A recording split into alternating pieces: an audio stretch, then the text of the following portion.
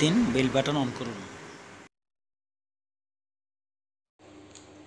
Hello, আসসালামু আলাইকুম। আমার ফাহিমা কনস্ট্রাকশনের যত ভাই ও বন্ধুরা, যারা যেখান থেকে আমার ভিডিওটি দেখতেছেন, সবাইকে জানাই আমার আন্তরিক শুভেচ্ছা ও অভিনন্দন। সবাই ভালো থাকবেন, দোয়া করি। তো আজ ছোট্ট একটি ভিডিও আপলোড করতেছি, কারণ সেটি ও করতাম না, অবশ্যই সেটা একটু পরে করতাম। কিন্তু আপনাদের অনুরোধের জন্য আপনারা অনেকে বলেছিলেন, এই বিল্ডিংয়ের চারটি সিঁড়ি আছে।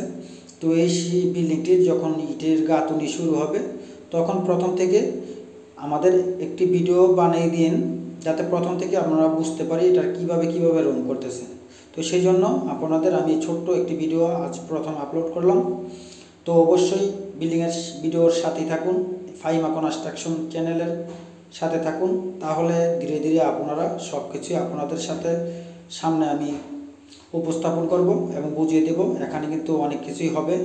একটু ব্যতিক্রম, ধর্মী একটি বিল্ডিং তো এই বিল্ডিংটি এই যে যে জিনালাগুলো দেখতেছেন, সেটি আজকে একটু বুঝিয়ে নেই। এই জিনালাগুলো ভিড় দেব ডিজাইন হবে। তো জিনালাগুলো অবশ্য যদি কেউ তিন ফুট এবং কেউ আড়াই ফুট নিচে দিয়ে থাকেন, দুই ফুট থেকে দিয়ে থাকেন, তবে এটার ভিতরে আড়াই ফিট থেকেই জিনালা রাখা হয়েছে। তো এই জিনালা থেকেই বিটের ডিজাইন হবে। তো যে সিঁড়িগুলো, চারটি, তো এখানে সিঁড়ির যে কাজগুলো হইতেছে, গাঁথনির দেখতেছেন। তো এই গাঁথনির কাজগুলো প্রথমে আপনাদের বাইরে থেকে শুরু করে দিলাম। তো শেষ পর্যন্ত দেখলে আপনারা বুঝতে পারবেন, এখানে চারি পাঁচটি হিসাবে এক এক সাইডে তিনটি করে ছয়টি রুমের একটি বিল্ডিং। এক এক সাইডে তিনটি করে রুম হবে, দুটি করে টয়লেট হবে। একটি কিচেন আছে, বিশাল বড় হল রুম আছে। তো কোথা থেকে কি হবে সেটি বোঝানোর জন্য এবং বোঝার জন্য আপনারা বলেছিলেন, তো আপনাদের আমি বোঝানোর চেষ্টা করব।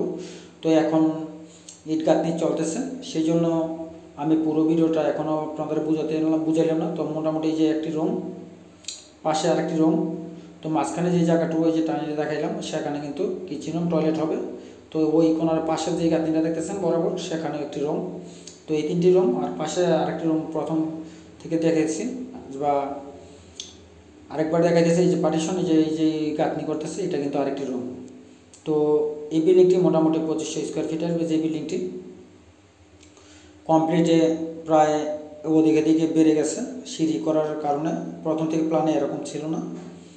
তো সেই জন্যই আপনাদের বোঝানোর চেষ্টা করতেছি। তো অবশ্যই সাথে থাকবেন। সাথে থাকলে আপনারা এরকমের কাজগুলো দেখলে আপনারা যে আইডিয়াটি নিতে চান আমার কাছ থেকে কীভাবে রুম হবে, কীভাবে কি করবেন, তাহলে আপনারা বুঝতে পারবেন। কারণ আমি আপনাদের বোঝানোর জন্যই ভিডিও আপলোড করে থাকি।